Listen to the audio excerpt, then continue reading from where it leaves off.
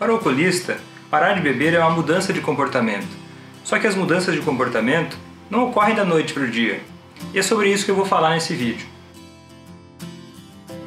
Meu nome é Vitor e eu criei esse canal para te ajudar a lidar com o alcoolismo de quem você ama. No meu livro eu falei sobre a mudança do, do comportamento humano, do alcoolismo à sobriedade. E vou deixar o link aqui embaixo para quem quiser se aprofundar mais nesse assunto e poder baixar esse livro gratuitamente. Você já viu alguém que tem péssimos hábitos alimentares e que não se exercita, dizendo que segunda-feira vai acordar e vai mudar todo esse comportamento, vai passar a se alimentar perfeitamente e se exercitar diariamente? Muitas vezes a gente tem a expectativa de que as pessoas vão mudar da noite para o dia. Raramente isso acontece, porque a mudança não costuma ser dessa forma. Só que na verdade a mudança do comportamento humano passa por etapas, né?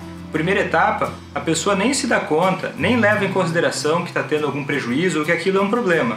A gente chama esse estágio de pré-contemplação, quando a pessoa realmente não está disposta e não tem consciência de que aquilo é problemático e que ela precisa fazer algo a respeito.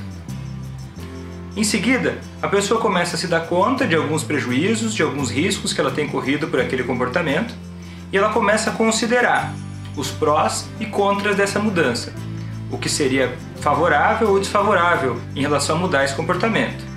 Nessa etapa, a pessoa fica dividida entre continuar da mesma forma ou mudar.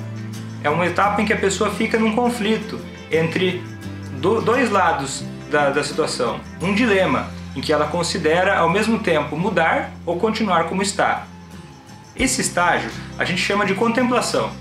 É um estágio em que a pessoa está tá com uma ambivalência né? Ela fica com o coração dividido. Ao mesmo tempo ela quer fazer uma dieta, ela quer fazer exercícios, mas ao mesmo tempo dá muito trabalho, então ela fica dividida e não faz nada ainda, porque ela está só decidindo. Né? Conforme as coisas vão evoluindo, ela vai decidindo cada vez mais a, favor da mudança do comportamento, então ela começa a entrar num próximo estágio, que é o estágio de preparação, em que ela começa já a preparar o cenário da mudança, começa já a ensaiar o que ela vai fazer.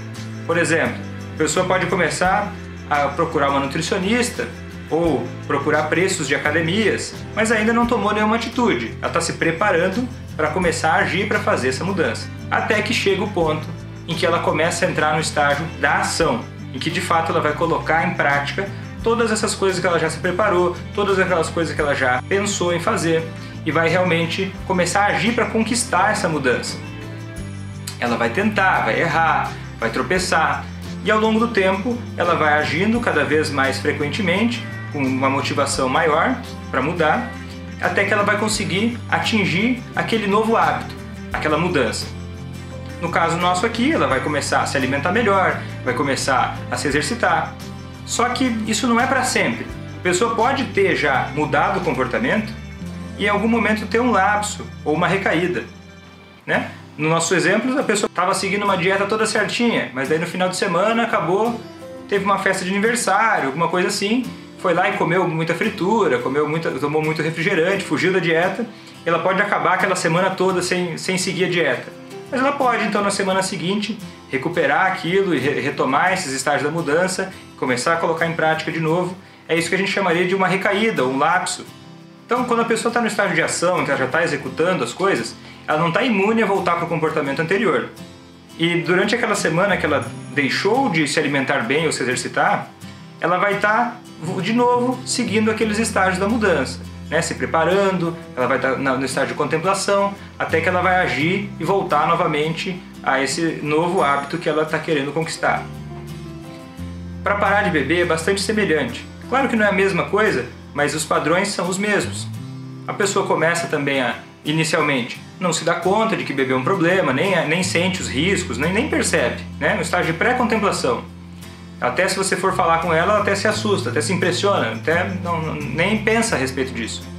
E ela também vai passando por os próximos estágios de contemplação, preparação e daí para chegar na ação, de fato. O que muitas vezes a gente gostaria que acontecesse é que a pessoa já começasse já pela ação. Está bebendo de uma forma problemática, Pula então para ação, para de beber. E acaba exigindo isso do outro. E colocando isso como estratégia principal, direto na atitude, sem levar em consideração esse jogo de interesses, esse jogo de incentivos, de motivos que a pessoa tem para continuar bebendo e para parar de beber. E a, só que é a partir disso que você vai conseguir ajudar a pessoa a ter motivação e ela ter a vontade, o desejo de se dedicar a parar de beber. Então a minha proposta é que você fique mais atenta aos sinais da pessoa que você ama, para você começar a identificar qual, qual o estágio da mudança que ela está. Se quem você ama está no estágio de pré-contemplação, ou se essa pessoa já está na contemplação, aí nesse dilema, ou se ela já está se preparando para parar de beber, ou se de fato ela está tentando. Porque a pessoa que está no estágio de ação não necessariamente está, está sem beber. Ela está tomando atitudes e ela está tentando parar de beber. Mas ela pode, às vezes, ter um lapso, ter uma recaída, porque o plano que ela implementou não deu certo. Mas a ideia aqui não é que ela que seja um, que cada vez que ela beber é um fracasso total. Muitas vezes quando a gente está aprendendo a andar, a gente também pode tropeçar, a gente também pode cair. Isso não significa que ela não quer de maneira nenhuma ou que ela não vai conseguir parar.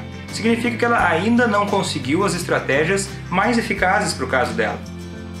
Isso é uma coisa que a gente vai aprendendo com o tempo, né? Quando a gente quer mudar algum comportamento, a gente se, se expõe a cenários novos, a gente começa a ter comportamentos novos e, e no começo isso tudo parece muito mecânico, parece muito difícil. Para você também, a proposta que eu trago aqui de você também mudar a sua atitude perante a pessoa que você ama, também você vai, vai, implementar coisas novas, você vai tentar coisas diferentes. Ao longo do processo também você vai ter dificuldades. Mas a ideia central aqui é que a gente possa focar nessa espiral, nessa, nessa roda da mudança, né? nesse ciclo da mudança que ele vai se refazendo, ele vai, vai evoluindo, não necessariamente de uma forma linear, mas é, é, a gente vai evoluindo nisso ao longo do tempo. Tendo isso em mente, a gente vai agir de uma forma a estimular que essa mudança ocorra. Olha, se quem eu amo está no estágio de pré-contemplação, então essa pessoa está precisando o quê? Começar a levar em consideração os riscos que ela está tendo por beber e os benefícios que ela teria em parar de beber. Então, nossa intenção seria que ela evoluísse para a contemplação e assim por diante. Se a pessoa está dividida, o que a gente pode fazer é, é ajudar de alguma forma que ela evolua para o estágio de preparação e assim por diante. Percebe? Então, esses são os estágios da mudança do comportamento humano. Se você gostou desse vídeo, curte, divulga, me ajuda a divulgar, compartilha com quem você acha que pode se beneficiar dessas informações. Se você ainda não é inscrito, se inscreve aqui porque vai ter vídeo novo todas as semanas. Me segue no Facebook e no Instagram e até a próxima. Tchau!